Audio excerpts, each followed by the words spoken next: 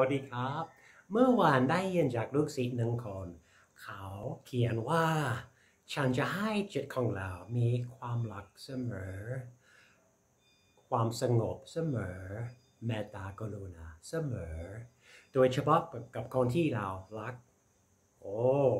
อันนี้น่าสนใจนะนึกว่าไม่ใช่ผู้ฝึกเลกีคนเดียวที่จะถามแบบนี้ หรือผู้นั่งสมาธิจะถามแบบนี้ จริงๆแล้ว เกือบทุกคนอยากถามว่าเราจะเราจะพัฒนาความรักความเมตตาในจิตของเรา ได้ให้ทุกสิ่งทุกอย่างสรรพสัตว์ทั้งหลาย มีความรักเมตตาจากเรา เมื่อเราเข้าใจว่าเราก็เชื่อมโยงกับทุกสิ่งทุกอย่างในโลกนี้ ไม่ใช่เราจะเรารักแค่พ่อแม่หรือพี่น้อง เรา จะพัฒนาความรัก ทั่วโลกสรรพสัตว์ทั้งหลาย เราจะพัฒนาความรักเมตตาของเราทำยังไงได้นะครับ เช่น วันนี้เราจะไปทำงาน แล้วเจอคนนี้ผู้ชายคนนี้ไม่ชอบ เขาขี้เกียจมากไม่ชอบเดี๋ยวเจริญสติก่อน สั้นในตัวเอง เอ๊กำลังตัดเสียนคนนี้ คนนี้ขี้เกียจมากไม่ชอบ เดี๋ยว อย่าลืมนะ เขาเป็นมนุษย์เหมือนกับเรากว่าเขาต้องมีความรักของเขา ความหวังของเขา ความกลัวของเขาเหมือนกับเรา พยายามมีสติพอที่จะรู้ว่ากำลังตัดเสียนคนนี้ แล้วแผ่แม่ตาให้หวังดี หวังดี เช่น หวังว่าคนนี้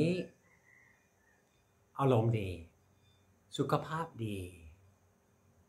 ความครัวแข็งแรงดีอะเราจะวางดี แต่เราต้องมีสติพอสมควร ที่จะรู้ว่าเรากำลังมองโลกในแง่ไม่ดี หรือกำลังดูถูกใครในจิตของเรา แม้ว่าเป็นคนที่ทำงานหรือที่ออฟฟิศหรือที่ร้านนี้ร้านนั้น เรามีโอกาสทุกครั้งที่เราเจอใคร แม้ว่าเป็นใครอยู่ที่เซเว่นหรือที่ซูเปอร์หรือที่ห้างนี้ห้างนั้น เป็นโอกาสที่จะเจริญสติที่จะถามตัวเองว่าเราจะมีความรักให้คนนี้เมตตาให้คนนั้น ให้จิตของเราสงบกับคนนี้ สัตว์ก็เป็นเรื่องเดียวกันนะครับ ทุกครั้งที่เราเจอสัตว์ เป็นโอกาสที่จะฝึกจิตของเรา เช่นใบใบบ้านของเพื่อน มีแมวสองตัว เราจะเล่นกับแมวอ๋อน่ารัก ดื้อด้อสนุกสนุกหรือเราจะไปที่ไหนที่สวน มีคนมีหมา ปกติเราจะถามว่าอ๋อหมาน่ารักชื่ออะไรครับอ่าเพราะว่าเรารักสัตว์ แต่สิ่งที่ปกติปกติเกือบทุกคนทำแบบนี้เจอสัตว์ที่ไหน รู้ใช่ไหม เราจะเจอสัตว์ที่โต๊ะอาหารของเรา ตอนเช้าอาจจะเจอปลาที่เสียชีวิตแล้ว กลางวันเจอไก่หนึ่งตัวเสียชีวิตแล้ว ตอนเย็นเจอหมูอีกหนึ่งตัวเสียชีวิตแล้ว ตระหนักรู้ว่าเราเอง เป็นคนที่จ้างการฆ่าสัตว์ตัวนั้น ตระหนักรู้ว่าเรากำลังกินร่างกายของสัตว์ที่ทรมานและเสียชีวิตแล้ว เพราะว่าเรามีเหตุผลของเรา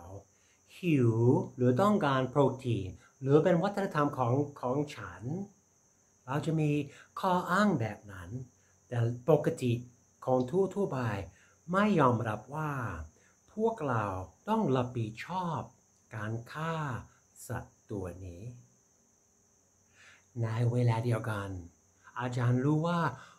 คุณเองเป็นคนที่มีความรักสูง มีเมตตาสูง แต่เมื่อเรายังนั่งที่โต๊ะอาหาร เห็นว่า ความสิ่งที่เราสิ่งที่เรารู้สึกแล้วสิ่งที่เราทำขัดแย้งกัน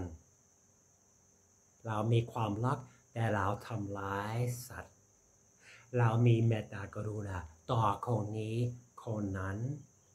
แต่ไม่มีเมตตากรุณาเลย ต่อไก่ปลา หมูกุ้งทำยังไงนะครับ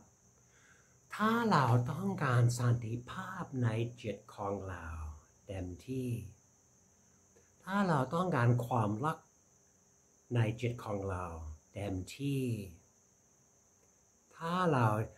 จะพัฒนาจิตของเรา พัฒนาสุขภาพจิตของเรา